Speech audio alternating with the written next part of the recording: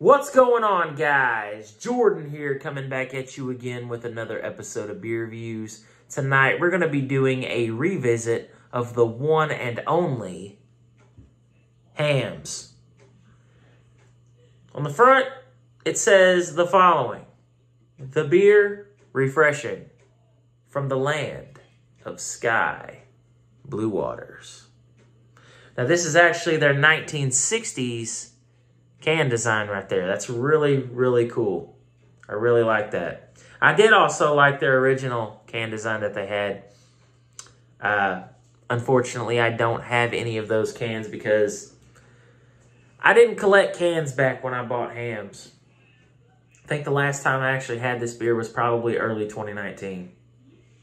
Used to buy them a lot because they were cheap and you could get a decent amount of them for little to no money.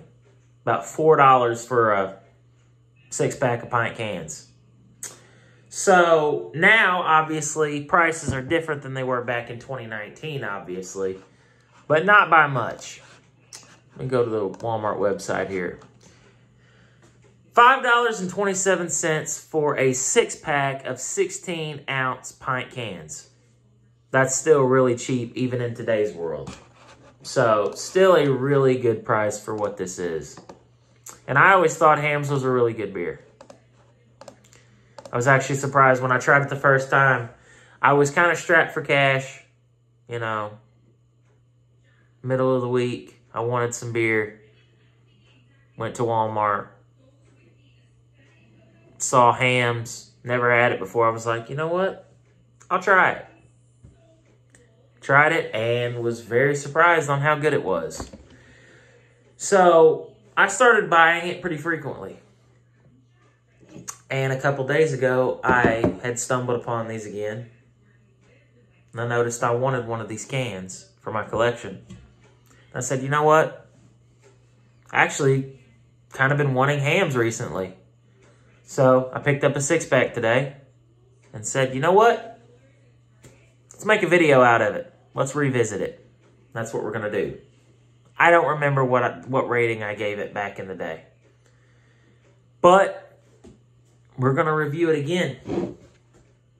Hamm's Revisit. Let's crack into it.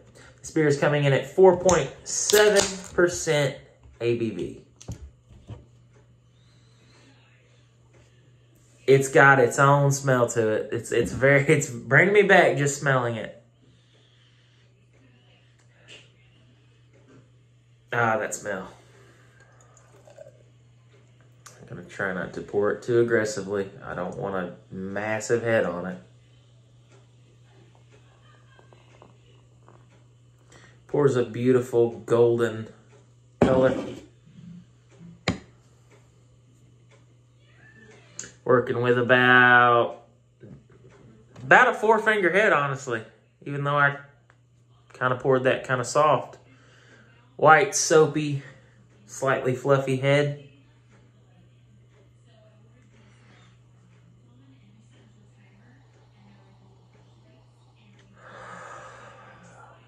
That smells like an amazing lager. About took the head up my nose. It's got a really nice smell to it. It's grainy.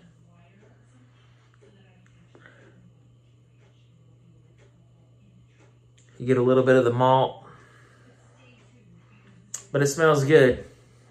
Hamm's. revisit. I don't know how many times I'm going to say that. But let's go ahead and get a taste. Cheers, guys.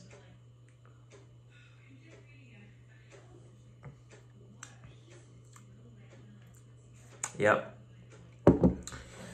Just as good as I remembered it being. There's some sweetness there. It's really smooth. It's easy to drink. It's crisp, clean, refreshing everything you want in a lager, especially an American adjunct lager. You just want it to be smooth. You want it to be crisp. You want it to be refreshing. This ticks all the boxes.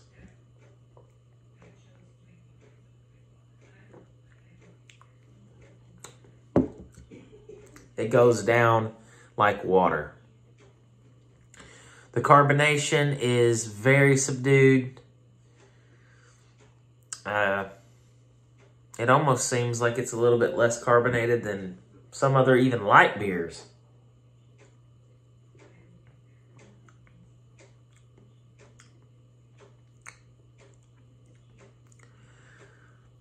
It's just incredibly drinkable.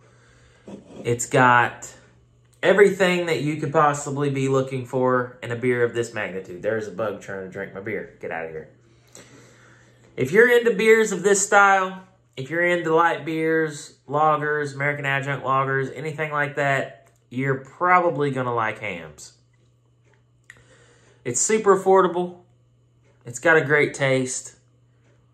Literally, there's nothing wrong with this beer, and it's actually crazy of how cheap it actually is.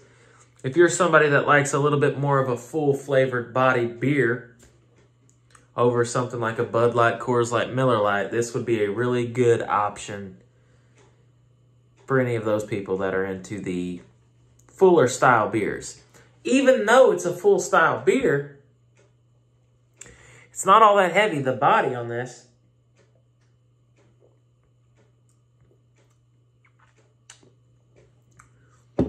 Is honestly about a light to a medium. Computer screen went out. I would, I, I would, I would pretty much put this at the higher end of light body. almost medium, but not quite. It's just super easy to drink. I mean, and, and as, as affordable as it actually is, you can't go wrong with it. So, like I said, I can't remember what score I gave it back in the day. I don't even remember when I put that video out. It was 2018 or 2019. But now I'm going to say that as far as the rating goes, I'm going to bump this up pretty high, I actually.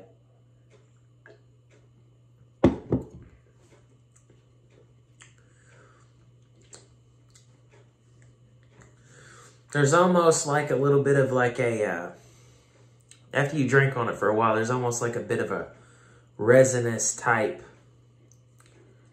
feel you get on the tongue from like the hops. Which there's really almost no bitterness to this beer like whatsoever. It might be just a slight tinge, but you get kind of like that, at least I am, like some type of resinous type after feel on the tongue quite pleasant. Nice little bit of lacing there on the glass as well. So as far as the rating, I'm going to give Hamm's a solid 9 out of 10.